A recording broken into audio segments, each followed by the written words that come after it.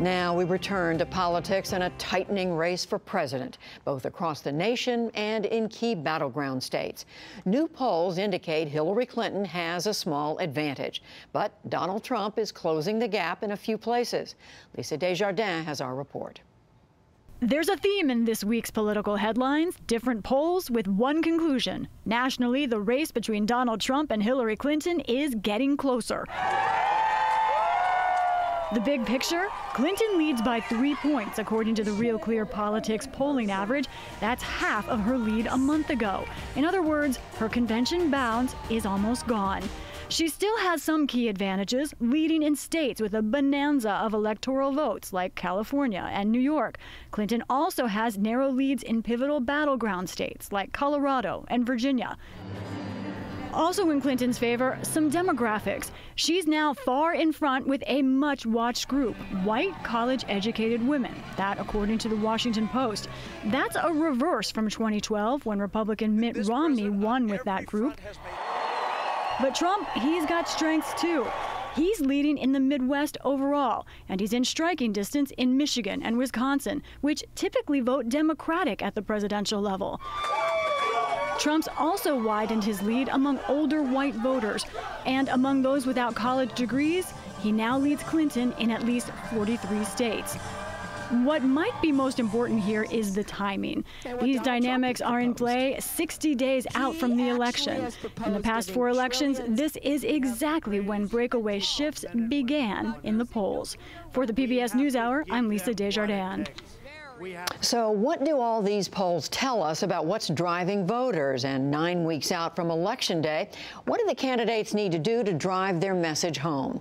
We take a deeper look now with Dan Balz, chief correspondent for the Washington Post, and Carroll Doherty. He's the director for political research for the Pew Research Center.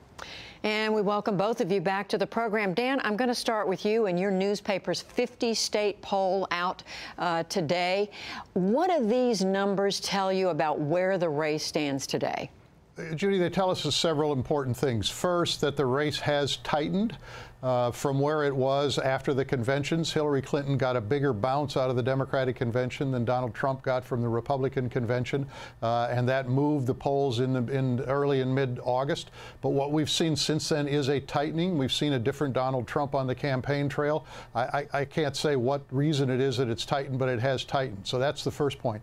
The second point is that uh, our 50-state poll underscores the degree to which Hillary Clinton still has an easier path to 270 electoral votes than Donald Trump does. Um, our numbers show that, that, all she would need to do at this point is add Florida, uh, and she would have 270 or more electoral votes. Donald Trump has a long, long way to go to get there. Uh, he has very few options. He has to thread the needle, and she has many choices and many options, both in, in an effort to block him in the states he has to win, but also to open up the map in some areas where she might be able to expand.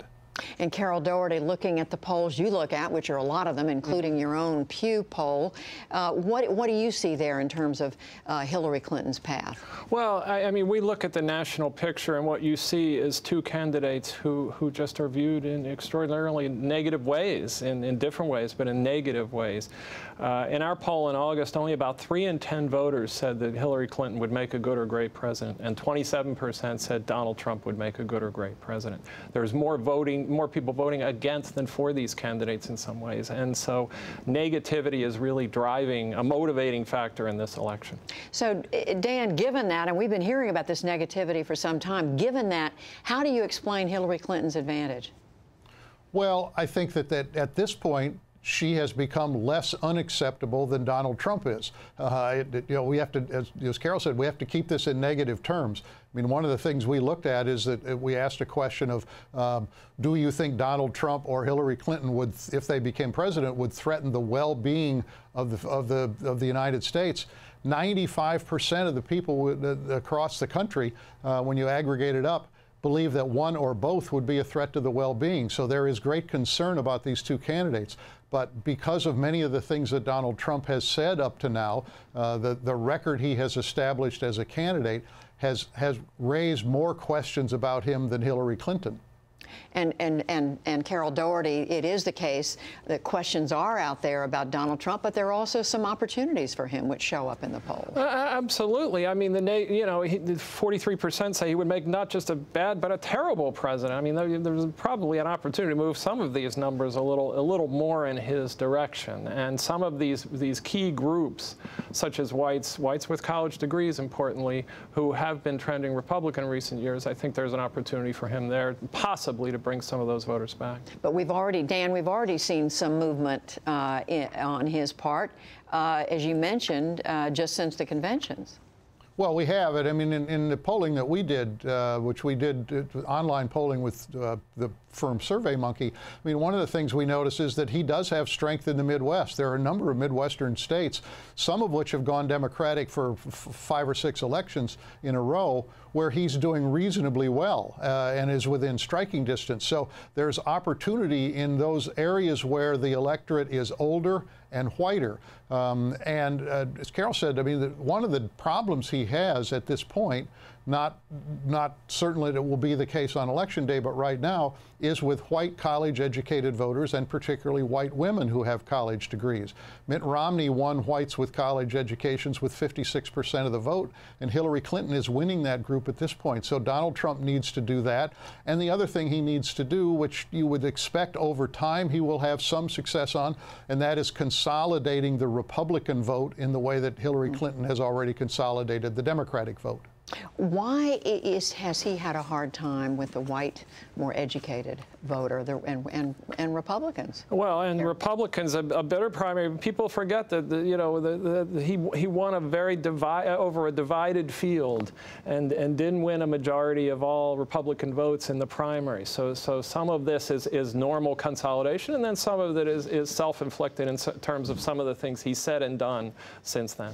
Just quickly, Carroll Doherty, how undecided are, are how many voters out there are undecided? How malleable is, is voters thinking at this point? The broadest range we've been able to estimate, maybe one in five. It's, it's probably down from where it's been. You have to factor in the, the, the third and fourth party factor this time and where they might sure. go as well with Gary Johnson and Jill Stein, but about one in five or so, and that's less than in prior elections at this stage. Dan, how do you see this question of how malleable, how, how, how many voters are there out there who still might make up their minds, change, might change their minds, go in another direction? It, it's very hard to estimate, and I, and I think polling doesn't help us a lot on this. I mean, as, as, Carroll said, there's a there's a sizable number who say they haven't quite made up their mind or might change their mind. Um, but as, as we've said, this is such an unhappy electorate. Uh, you have to think that most people kind of know where they're going to end up, but they're they're not they're they're just so conflicted about the choice that they're not really ready to say with any certainty that they will definitely do that. And so I think it it leaves some uncertainty out there in in where these polls might move over the next uh, 60 days. And quick final question to Carroll Doherty about these third-party candidates, mm -hmm. uh, Gary Johnson and Jill Stein. Can you say at this point how much of a factor they can they can Hist history suggests that August measures of third-party support uh, that that would decline over time, perhaps. But this is a very unusual election. We we had Gary Johnson at 10 percent in our most recent national poll. Uh, his profile of voter very young, uh, very young uh, profile voters for Gary Johnson at this point. But but as you say, uh, typically, and Dan, I'll come back to yeah. you very quickly on this. Typically, the third-party candidates lose ground in the final weeks of an election that's usually true, but I think that the, the issue is if Gary Johnson were able to qualify and hit that 15% threshold to get into the presidential debates, that would change that because he would then have national visibility that he doesn't have at this point. But at this, so far, he's not quite at that level. Well, it's an election like we've never seen in so many ways. Thank you both. Dan Balz, Carroll Doherty. Thank you. Thank you.